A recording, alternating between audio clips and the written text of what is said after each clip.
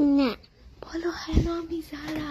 Hello আমি জারা আর আজকে আমি প্রথম হচ্ছে গিয়ে ভিডিও হচ্ছে গিয়ে ভয়েস দিচ্ছি।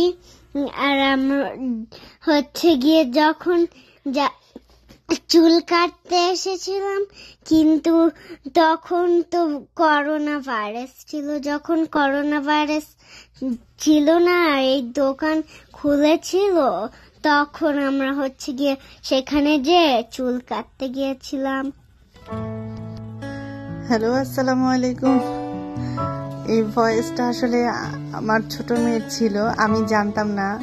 আমি ভিডিওটা এডিট করে রেখে দিয়েছিলাম, তো আমি একটু পরে ভয়েস দেবো বলে আমি আর ভিডিওটা বন্ধ করিনি, ওই অবস্থায় ছিল।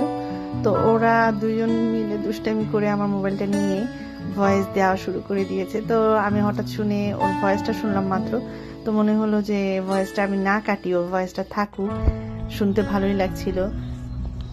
তো এটা ছিল আমাদের আমেরিকাতে প্রথম পার্লারে যে চুল কাটা। তাই ভাবলাম যে স্মৃতি হিসেবে রেখে দিই একটু ভিডিও করে, আর হচ্ছে একটু সবার সাথে একটু শেয়ারও করি। তো আমরা আসলে অনেক দিন ধরে চিন্তা করছিলাম চুল কাটবো। আর করোনার জন্য তো এক বছর প্রায় পার্লার বন্ধই ছিল। তখন পার্লার সব ওপেন করে দিয়েছে। মাঝখানে যেটা হয়েছিল যে অ্যাপয়েন্টমেন্ট নিয়ে যেতে হতো। এখন হচ্ছে যে অ্যাপয়েন্টমেন্ট ছাড়াই যাওয়া যায়। তাই আমরা অ্যাপয়েন্টমেন্ট ছাড়া এসেছি। যদিও আমাদের অনেক লেট হয়ে গিয়েছে।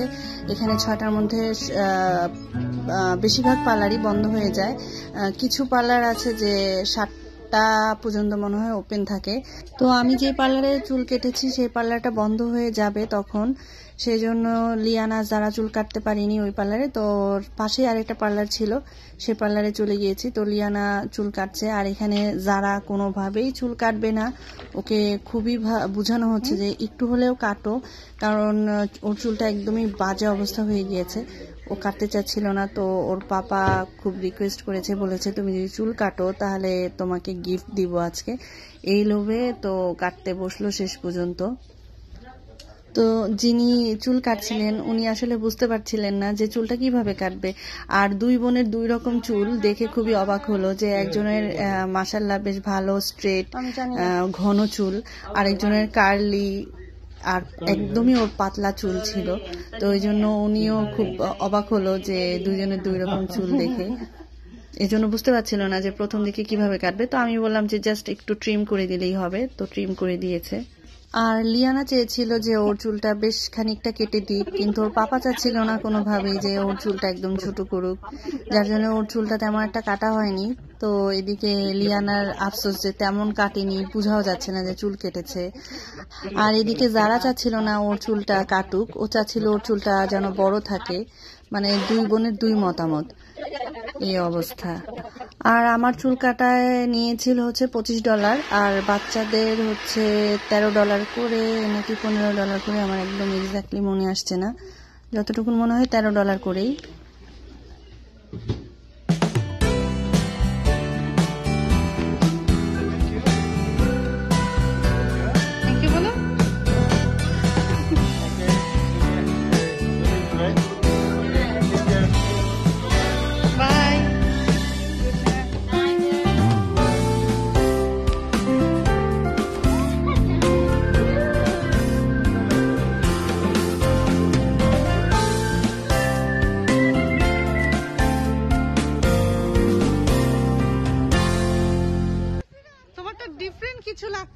আর এই পার্লারগুলো ছিল আমাদের বাসা থেকে খুবই কাছে।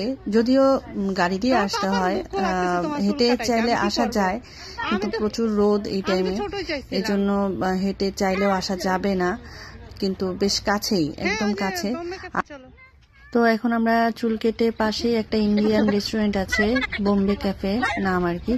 দোকানটা তো ওইখানে সিঙ্গারা পাওয়া যায় বেশ ভালো সিঙ্গারাগুলো খুবই মজা হয়। আর এখানে চাও বেশ মজা হয় ম্যাঙ্গো জুসটাও খুব মজা তো আমরা এদিকে আসলে প্রায় আমাদের চা আর সিঙ্গারাটা খাওয়া হয়